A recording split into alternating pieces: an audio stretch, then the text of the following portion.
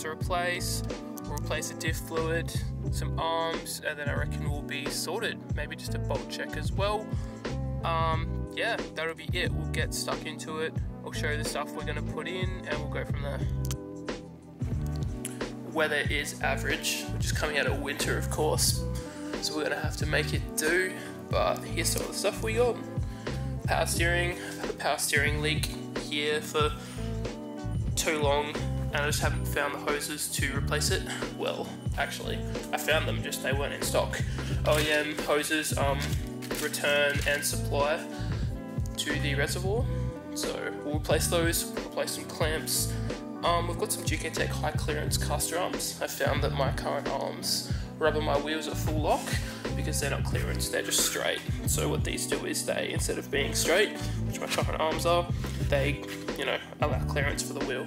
It's a must have, especially for a drift car, so we'll chuck those in. I reckon we'll start with the messy job, power steering. We'll get all this out the way, suck as much fluid out as we can so we don't make a mess. Replace those lines, probably put the car up in the air, do these bad boys. I reckon we'll do some diff oil too, because that's well overdue. And do a bolt check and it'll be sweet. Right, let's get stuck into it.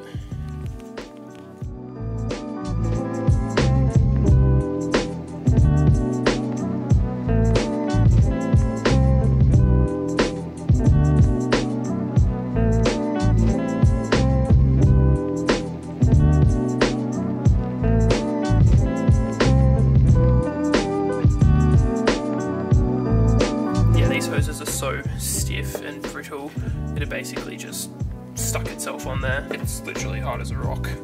You would think something that's been leaking oil onto itself for ages would be easy to get off, but if you're wrong. So we're going to give this a good clean, obviously. We'll chuck everything on and start bleeding the system.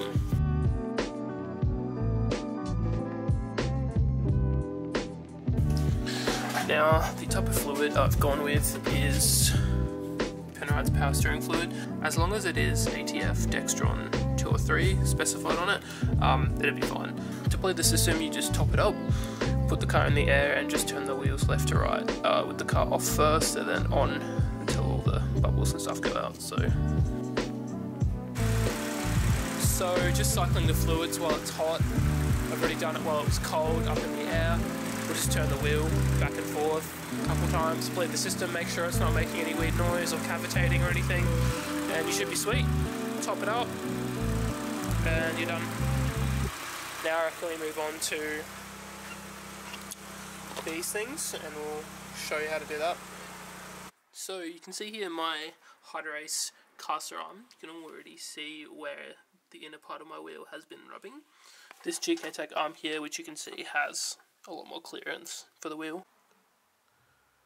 Alright, so we have the arm set up as best as I can. It's kind of hard because they're different shapes and whatnot, and these holes are a slightly different diameter these. Um, I reckon I got it pretty close, so I guess we'll chuck them in and adjust from there.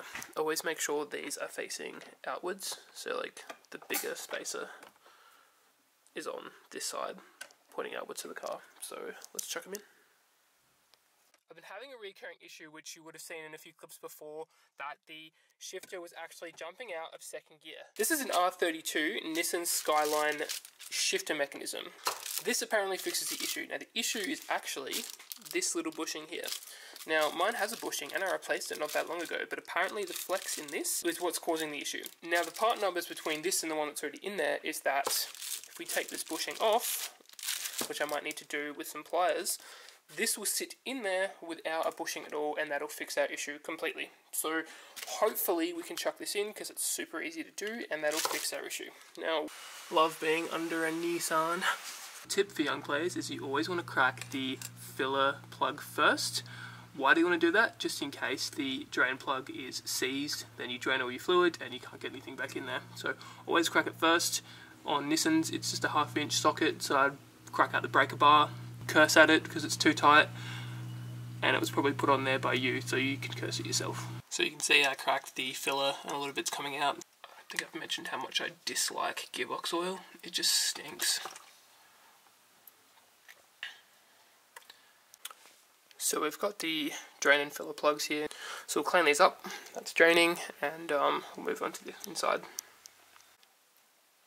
Quick brake clean, quick wire wheel, um, and I'll just throw some new NTCs on it. You don't need to go crazy, it just helps. Okay, bye-bye. Everyone with an S14 or S15 knows these break all the time.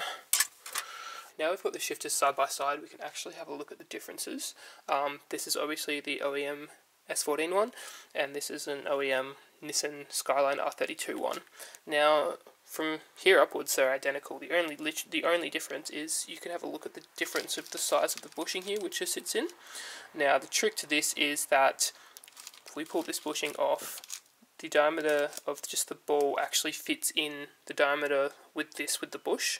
So that reduces all the slop. So all the play is actually in this bushing. This is apparently the issue and you can tell it's really floppy.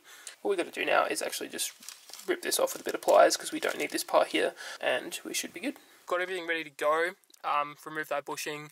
I have put a little bit of moly lube just on the end there just in case. I don't know if you're supposed to but don't at me if you wanted to fill your gearbox oil from here, this would be the best time to do it. I'm not going to simply because I don't want to spill gearbox oil in my um, interior and I just don't want it to smell pretty much. It's also a great time to give the top of this a clean just to spot any future leaks. So give it all a good clean as well. You don't want it to be sealed to oil already there because it's just going to slip off. We'll chuck it in, get everything bolted up. I'm not going to bore you with the install process because it's pretty lame.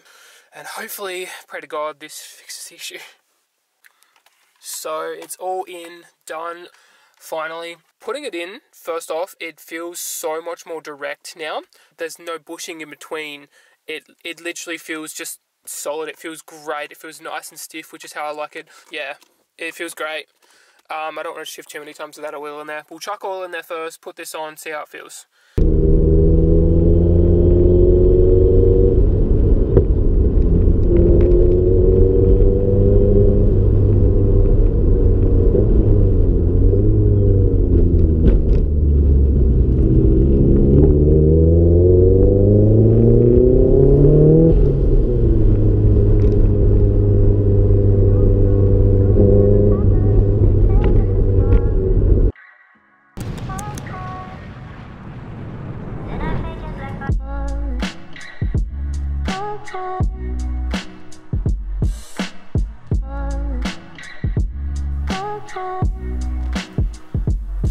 So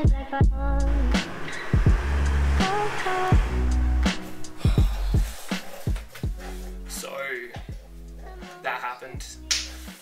Yeah, wasn't really how I wanted to end this video, but it appears someone backed into me while my car was parked.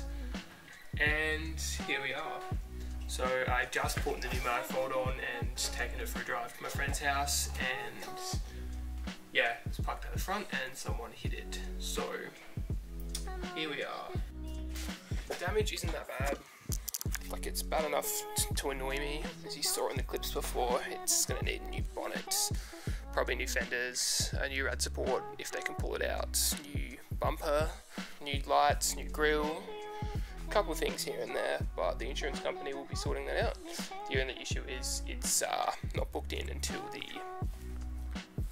30th of March is when this will be, when repairs will begin, pretty much, because they're so backed up. A little bit annoying. I was quite obviously annoyed when it happened. Not so much that it happened, more so that it's just ruined the plans I had for All Japan Day that was coming up, and drift events and whatnot that I already had booked in.